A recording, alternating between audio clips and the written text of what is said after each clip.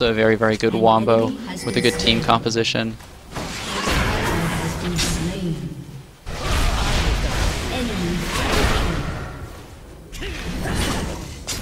There we go. Ah, damn. Turn. Let's fight this, bro.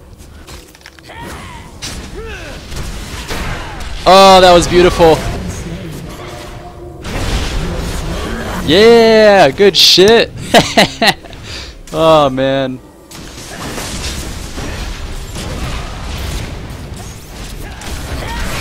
Oh my god. Yeah!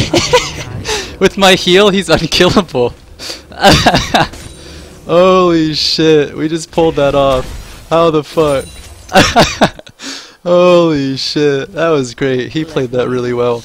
Uh, he's lucky I stayed around to heal him through both of those ignites, but my god. That was beautiful.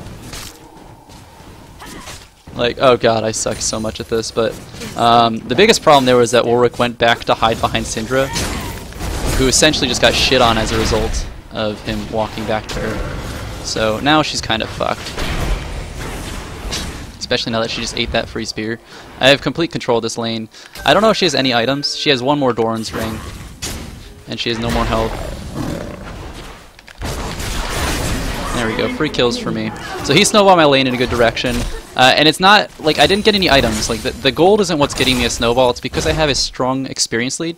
So I can engage on Karma whenever I want. She doesn't have her level 6, she's not able to combo very easily, and I just get free kills left and right. So it's really, really strong right now because he gave me so much pressure.